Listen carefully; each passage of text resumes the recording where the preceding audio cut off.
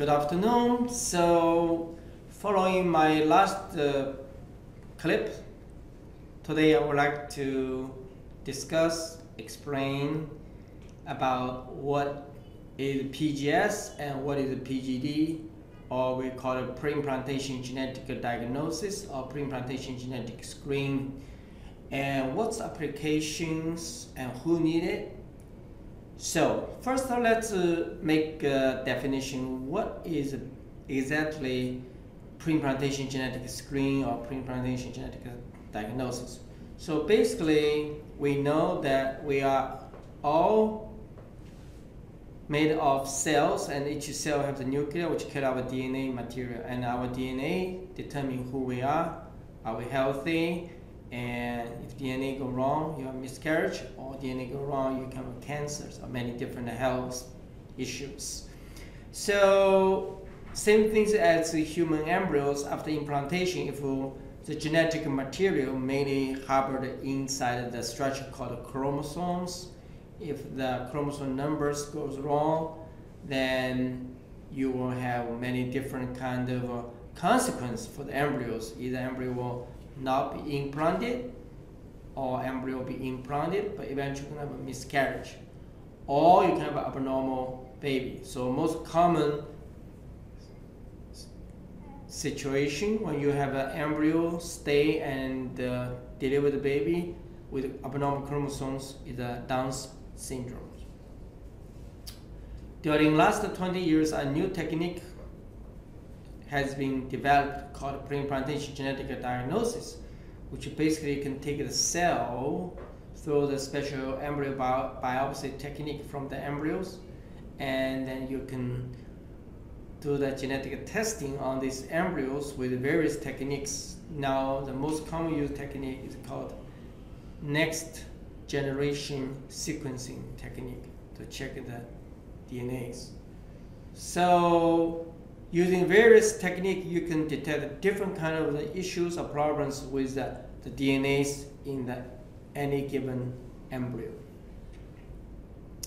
So what's the difference between PGD and PGS? The really difference is first, first of all, it's not so very well defined, but generally speaking, if we are doing the test to diagnose non-genetic disease, say a couple have certain kind of genetic disease carriers or mutation, you know there are certain chance that embryo will be affected. That's called pre-implantation genetic diagnosis. For example, uh, both couples are carriers for cystic fibrosis, which is one very, very common autosomal recessive disease.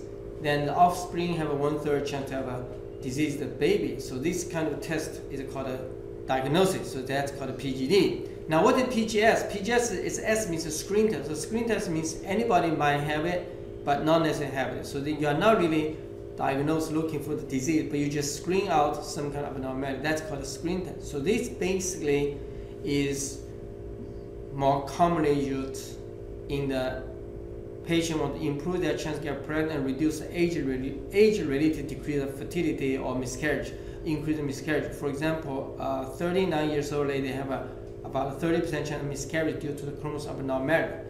So you can screen out of this kind of embryos and that called PGS. So let's define. The difference between PGD PGS is that PGD you already know the potential genetic abnormality, you're doing the test. PGS there's no known for sure what kind of genetic disease, but it's more to check the chromosome numbers, uh, which is the age related in the females, humans. Number two, most of pre-implantation test is for PGS and much, much less proportion for PGD because a couple pregnant with a genetic, potential genetic carrier disease is much, much less common than a couple have a high chance of miscarriage due to advanced maternal ages.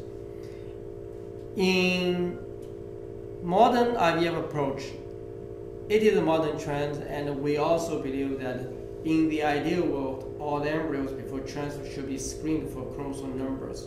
So we should do universal screen tests on all the embryo. By doing so, it will reduce the miscarriage rate and increase the pregnancy rate. Just to take the sample as a patient at the age of 35 to 38, If you just transfer the embryo at the blastocyst stage, the average chance to get pregnant is about 45% with about 8 to 12% miscarriage because at least 30 to 40% of these embryos are not chromosomally normal, which will not get you pregnant given miscarriage. But if you do the genetic screen test, the chance the embryo will get you pregnant will increase to 75% with less than 8% chance of miscarriage. So this is the general application of the PGS. So in conclusion, PGS called, called pre-implantation genetic screen test.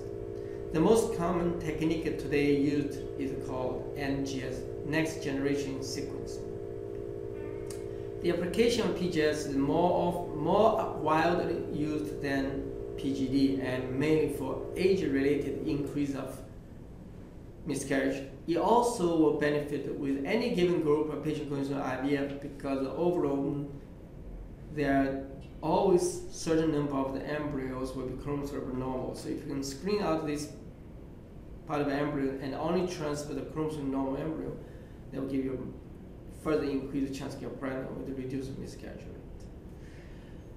Next time we're going to discuss for the lady at age of 38 to 42 while the available techniques such as PGS, minimal stimulation IVF, embryo banking. So what is the best strategic plan for the lady at the age of 38, 42 when all these techniques are available and what will be most efficient, logical, logical way to utilize this technique to give you the best chance to get pregnant and the lowest chance of miscarriage.